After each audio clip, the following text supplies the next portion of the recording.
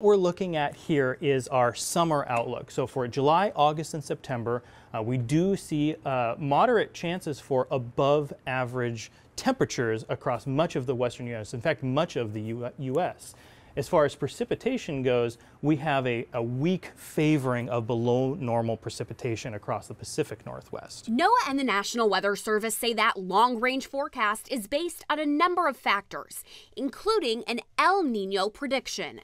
El Nino means warm water is being pushed toward the west coast, with sea surface temperatures impacting the atmosphere. You know, there could be an increased chance for an active fire weather season, an active wildfire smoke season across the Pacific Northwest. It also could indicate the development of drought conditions across the Pacific Northwest. As we head into hotter months, knowing above average temperatures are likely in certain regions means governments can plan where to station extra firefighting resources and farmers can make some planning decisions.